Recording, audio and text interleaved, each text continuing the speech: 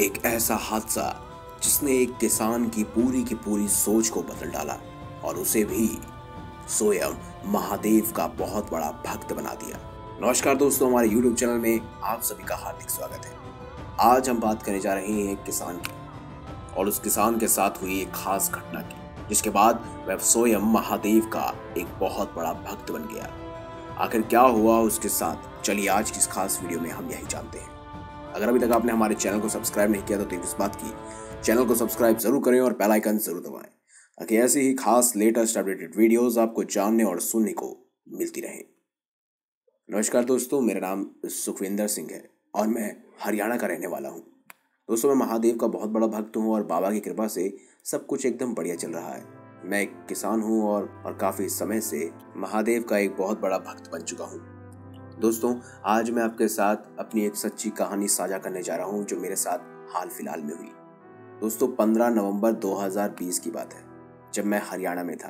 दोस्तों, इंसान होने के साथ साथ मैं एक अन्नदाता भी हूँ, मैं किसान हूँ। मैं भी इसी कारण से हरियाणा के बाहर अपने खेत का अनाज सप्लाई करता हूँ। और हर साल की तरह इस साल ये काम थोड़ा सा कठिन हो गया, क्योंकि इस बार देश भर में किसानों ने दिल्ली के सारे बॉर्डर पर जो एक बिल पारित किया गया, उसके कारण दिल्ली और हरियाणा के सारे बॉर्डर सील हो गए थे। तो उस कारण मैं अपनी खेत की ताज़ी सब्जियों को हरियाणा के बॉर्डर के बाहर भेज नहीं पाया।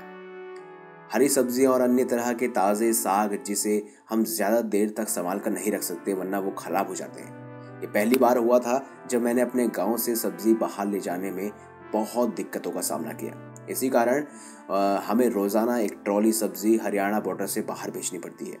मैंने बाबा का नाम लेकर हरियाणा से बाहर सब्ज़ी भेजने का प्लान बनाया और अपनी एक ट्रॉली को सब्ज़ी के साथ ही भेज दिया। मैंने काफ़ी सोच समझकर अपनी सब्जियों की ट्रॉली को अपने स्टेट के बाहर भेजा था, क्योंकि अगर मैं सब्जियों को नहीं भेजता तो मेरी सारी की सारी सब्ज़ी घर में पड़ी पड़ी खराब हो जाती। अगर मैं सब्ज़ी को हरियाणा के मार्केट तक नहीं पहुँचा पाता तो सब्ज़ी को मार्केट में बेच भी नहीं पाता। इस वजह से मुझे पैसा भी नहीं मिलता और मेरी सब्ज़ियाँ, यानी कि मेरी जो मैंने खेती की थी, वो सब खराब हो जाती।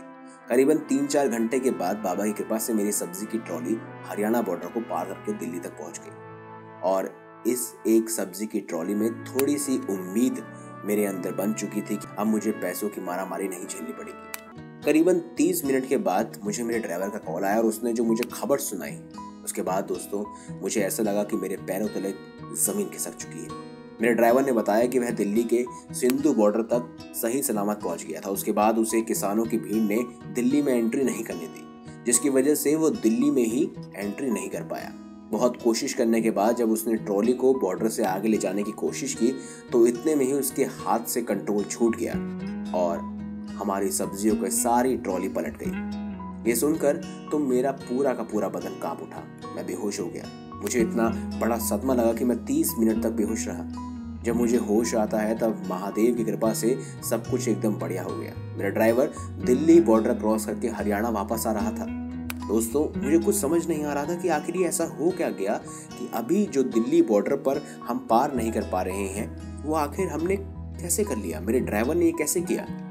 तकरीबन दो घंटे इंतज़ार करने के बाद जब ड्राइवर घर पहुँचा तो उसने मुझे पूरी कहानी सुनाई। दोस्तों, आपको यकीन नहीं होगा उसने कहा कि उस समय जब ड्राइवर ने सब्ज़ी की ट्रॉली सिंधु बॉर्डर पर ही दिल्ली के किसी व्यापारी को बेच दी और वह खाली ट्रॉली लेकर वापस आ रहा था।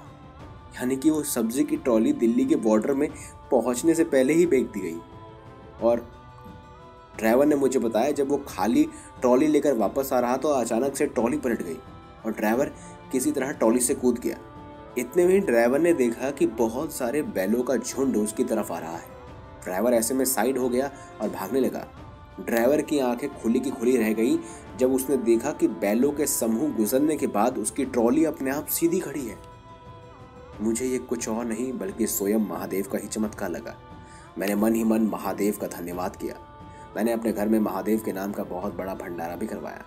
दोस्तों, हम किसान हैं हम अन्नदाता हैं, लेकिन हमारे अन्नदाता महादेव हैं। वो भगवान है। वो परम शक्ति है जो हमें हर संकट से बचा लेते हैं। तो दोस्तों, अगर आपको हमारी ये खास जानकारी वीडियो अच्छी लगी हो तो इस वीडियो को लाइक करें, हमारे चैनल को सब्सक्राइब करें और ज़्यादा से ज़्यादा शेयर अवश्य करें।